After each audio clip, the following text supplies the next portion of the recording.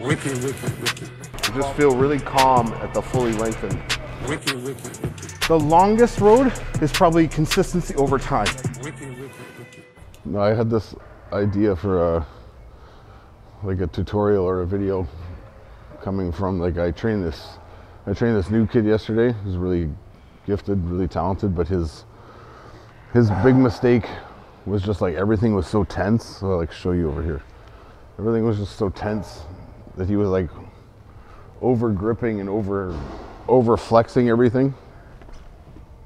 If people see me do back videos and back training, they see how I they see how I set up people and I I lock on lat, right? So I pull things down and I set into my lats and my shoulders are down and then I kind of frame from here and have this rocking kind of dropping my shoulder back pulling motion, right?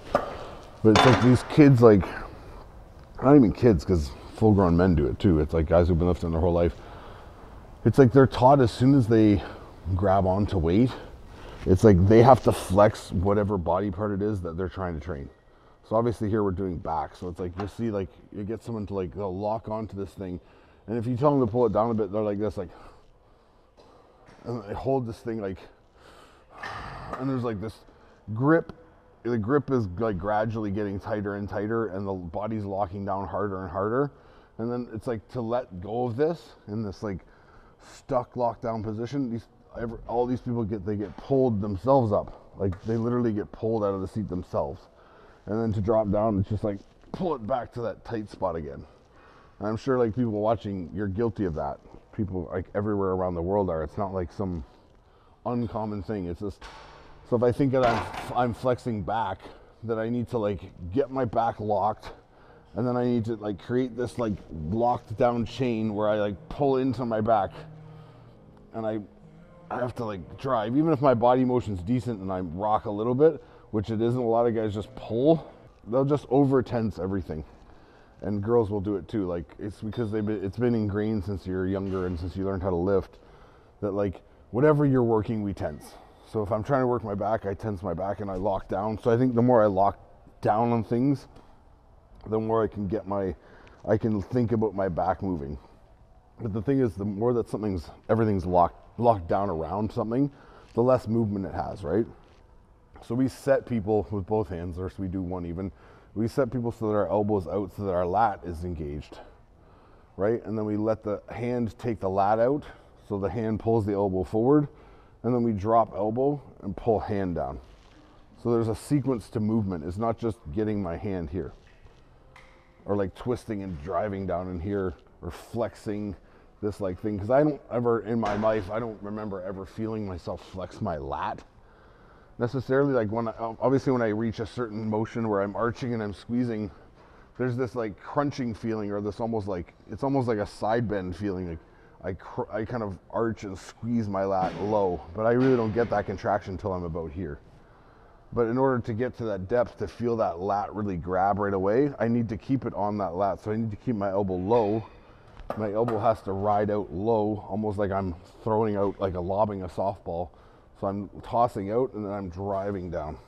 So even if I'm doing one arm, I can have a little more rock motion. But if I'm two arm, I'm literally up through and back. So my shoulder stays low and I let out from hand. So the first thing that where my lat's locked that lets out is my hand pushes forward. It doesn't get, I don't go here and go like this and let my elbow and my and my shoulder go over and then try and pull out wide again. Pull out wide again. It's this always this sunken feeling, sunken feeling, sunken feeling. So I'm trying to let out from hand. So I'm literally pushing my hand to the mirror. It's taking my arm with it. My shoulder's still down, even though now it's up a bit. I'm gonna drop my shoulder down and pull through and rock on that sequence of movement. So it's like, it's not just on back, it's on everything, right? Where people are just locking down like over tensing and thinking that like, oh, if I'm doing shoulders, I'm doing laterals, I need to be as tense as I can and just push out on my lateral, push out on my lateral. There's any number of exercises we can we can show for that, right? We'll show a bicep thing. It's like the same thing. So we get I get people to set up on biceps so that their their elbows over and they're on their tricep, so that I'm already flexing my hand and I'm engaging my bicep when I'm here. So when I sit, I'm already on bicep. So I have my weight forward and I'm rocking up through here. So I want to be able to get extension in my wrist. So I want to push my weight into the pad so that when I go to curl, I can drive my force down into my tricep and roll up through and squeeze, right? On both sides. So I want to drive and squeeze. It's not just getting it here and getting it there. Or guys are just trying to reach out and flex like this, or they like lock down super tight and they start at the top here and then they they rock, right? Because they're trying they're thinking that like I just want to engage this bicep, so I'm going to keep it as tight as I can, as long as I can, so that it is forced to do all the work, even on the negative and the contraction centric. I'm trying to move up and down and just rock on it. But if you just let your bicep do its movement, which is like it's going to slide down into your elbow, and if you if you pronate and then you supinate when you curl, that's why guys do that, so that we're rolling up and curling up through, right? That's like I understand like all these guys talking about long head and short head of the bicep and like, oh I do these curls for this kind of thing. But it's like just work the whole bicep as a muscle. And think about like full range of motion and full contraction on everything you do. And don't be so concerned about like which head I'm working, especially if you're not like that advanced of a lifter. Where you see these guys doing like like spider curls with like dumbbells or whatever the fuck they're called, these like flat curls up dumbbells, right? It's like, yeah, that's great it's just another angle to hit your bicep curl. It's not some unlocking potential. You've uh, discovered how to hit this certain area. It's like your bicep is your bicep, and there's two there's two pieces to it. So it's like, why don't we work both at the same time? Like why emphasize one over the other, right? So if you if you understand that you can lock down your body, and and therefore causing the muscle that's being worked to be in a in a looser position so that it's able to move, right? Same with your back over there. Like I'm, I'm not gonna lock into my back and squeeze everything and then go and let all this come up and drop down when I never get this to happen, right? So if my shoulder can't drop and my chest can't lift, I can't squeeze back properly.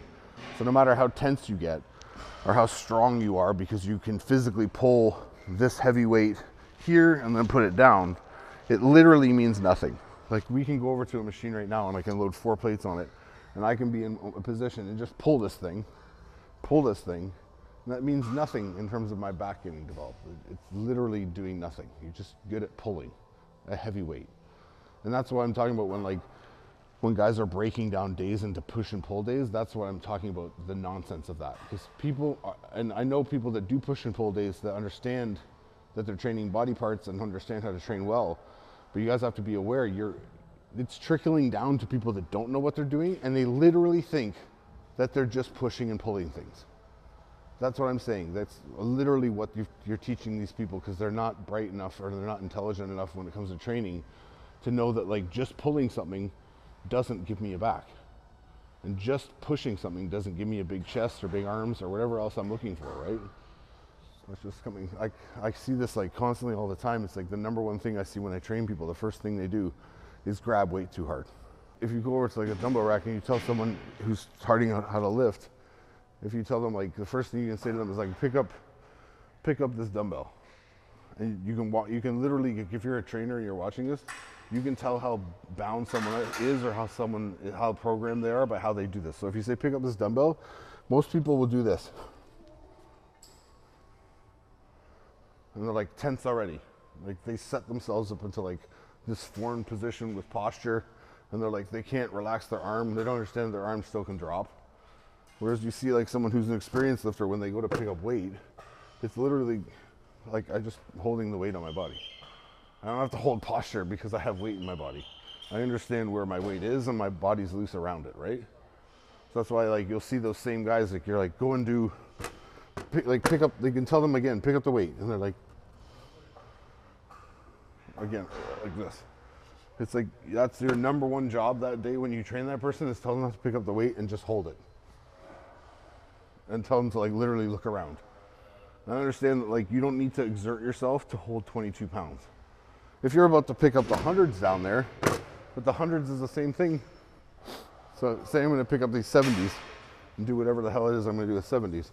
It's gonna be the same thing. It's gonna take more effort to get off the rack, but I'm gonna be holding it here I'm just gonna hold it. So it sits in my body. Do you know what I mean? It's not moving. I'm not, oh my God, like, do you know what I mean? People just have to understand like the more relaxed you are and the more you let your body move the way it should, the better off it's going to be, right?